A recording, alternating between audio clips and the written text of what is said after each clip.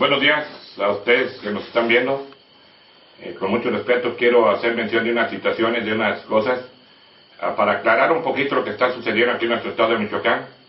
Eh, voy a hacer alusión a los comentarios de la senadora Luisa María Calderón Hinojosa, que de alguna manera ella dice que ciertas personas del gobierno del estado tuvieron pláticas con nosotros, a lo cual categóricamente lo digo y lo desmiento, no es cierto. La única persona que tuvo acercamiento con nosotros cuando las campañas del 2011, en noviembre del 2011, para la gobernatura de Michoacán, fue la señora Luisa María Calderón Hinojosa. Por medio de un señor que jugó la diputación por el distrito de Pacinán Local, Francisco Javier Girón del Toro. Esta señora nos mandó tres veces hablar con nosotros. Ahí está y lo pueden constatar. Les vamos a mostrar unos videos para que vean que es cierto lo que decimos. Lo mandó a hablar con nosotros en tres ocasiones. La última ocasión que nos vio fue faltando dos días para la elección, que fue un viernes en la tarde, para decirnos que estábamos en los acuerdos y que la señora nos iba a respetar cuando ganara y que íbamos de la mano porque ella ocupaba el triunfo y que todo se olvidaba. Yo en lo personal me molesté un poco porque claramente le dije a esa persona, a Francisco Javier Girón de Toro, que nosotros no teníamos tratos con nadie, absolutamente con ningún partido político, y que ganara el que mejor fuera. Me molesté un poco, pero les voy a comprobar que es cierto lo que estoy diciendo.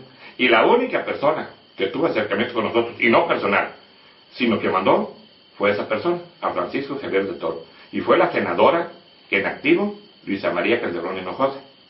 O María Luisa Luisa María, pues como se llama la señora más o menos, ¿verdad? También quiero hacerles otro comentario para que ustedes lo pueden constatar, las autoridades a quienes llegue este video, lo pueden constatar y ver la reseña, qué es lo que ha sucedido y por qué no se ataca tanto la señora. Cuando el ciudadano presidente de la República, el señor Felipe Calderón Hinojosa, era el electo, si no mal recuerdo fue en noviembre del 2006, él ya era el electo y ya había ganado las elecciones.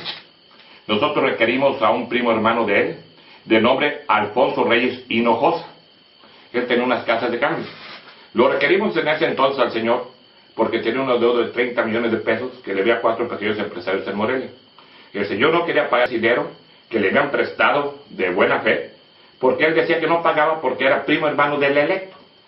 Si usted no me recuerda, en un video que hice yo, comenté y dije que entonces, por el hecho de ser primo, hermano, sobrino, compadre del presidente de la República, más o menos así lo dije, no voy a pagar lo que debo. Ahí fue donde empezó el problema de Felipe Calderón con nosotros los que éramos la familia michoacana y ahora caballeros templares. El motivo fue porque realmente nosotros retuvimos a un familiar de él, Alfonso Reyes Hinojosa, parece ser que el señor murió, lo pueden constatar, tenía unas casas de cambio, y nos pidieron la atención. La atención nos la pidió Luisa María Calderón Hinojosa, por medio de su hermano, también con su hermano Juan Luis, para que por qué no soltamos a la persona que nos estamos metiendo con la familia del presidente, a lo cual llegamos un arreglo. Fue el primero de noviembre cuando retuvimos al señor del 2006 y lo soltamos el 2 de noviembre del 2006, más o menos un mes antes de que tomara posesión el electo que era Felipe Calderón Hinojosa. Arreglamos, se comprometió a pagarle a los pequeños empresarios sus 30 millones de pesos y al señor no lo volvimos a ver hasta el día en que toma posesión Felipe Calderón Hinojosa y aparece un lado de. Allí empieza el pleito con nosotros. Después el pleito se agrava cuando sacamos a los Zetas de Ciudad Lázaro, de Michoacán, a finales del 2008. Mediados, ya habían pasado la mitad del año del 2008, los sacamos de las ganas y se nos dejan venir con más ganas porque les afectamos varios de sus intereses. Ya traíamos el pleitecito con ellos de esa manera. Cuando nosotros hicimos el trato para soltar al muchacho, o al señor más bien, Alfonso, lo hicimos por medio de un señor que se llama Carlos Mejía Villaseñor. Lo pueden buscar en el IFE y se pueden dar cuenta quién es el señor Carlos Mejía Villaseñor el señor tenía una relación muy íntima con la actual ahorita senadora Luisa María Calderón. Investíguenlo, el señor se vuelve testigo protegido, está en Guadalajara, está siendo protegido por el cartel Jalisco Nueva Generación, nos ha atacado mucho, no conoce a mucha gente de nosotros y ya Pregonario ha dicho que tienen cosas en cosas que ver. Investiguen y ustedes verán, señores de la CEIDO, señores de la PGR, señores de la PGP, lo que les estoy diciendo y saben. Para eso les voy a mostrar unas pequeñas pruebas. Esa es la historia de cómo se vinieron dando los casos. Carlos Mejía señor, nos adeuda a la empresa 12 millones de dólares que se le prestaron para hacer unos fraccionamientos.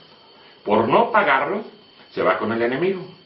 Han sucedido muchas cosas interviene Luisa María Calderón para hacer ciertos arreglos, cuando su hermano todavía no se venía lo de Lázaro, para que perdonáramos la deuda al Señor a cambio de unos favores.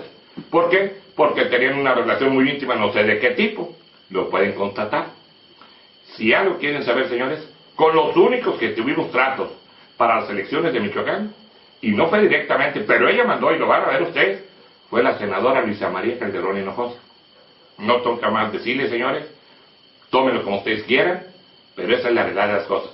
Mi respeto para los señores que están ahorita en el poder, tanto en la presidencia de la República como en el gobierno del Estado.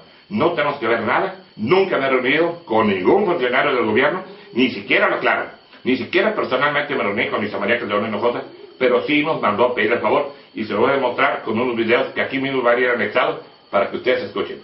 Gracias y que pasen buenas noches.